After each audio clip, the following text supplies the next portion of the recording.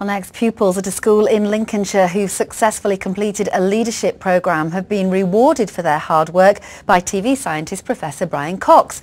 The teenagers have been taking part in a scheme run by the Jon Egging Trust to inspire and motivate children who've been struggling to achieve their potential, as Emily Cow reports. A proud day for these students at Priory Witham Academy in Lincoln.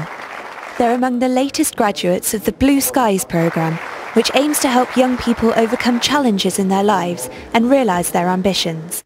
It was set up in memory of Red Arrow's pilot Jon Egging, who died after his plane crashed during an air display in 2011. His values very much were that young people should have the opportunity to be the best they can be.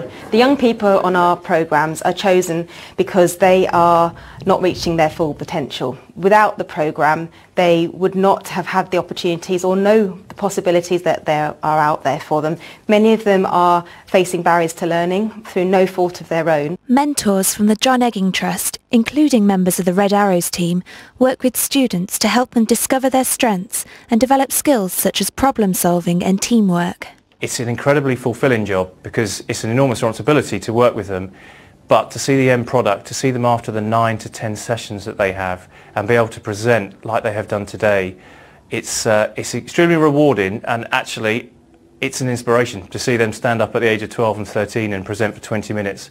They're skills that some people don't even get in later life.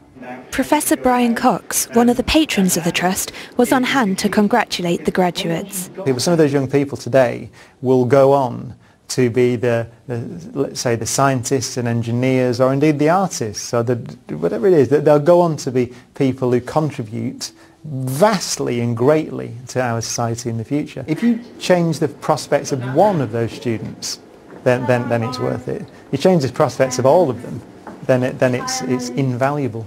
The Blue Skies programme began four years ago with just eight students.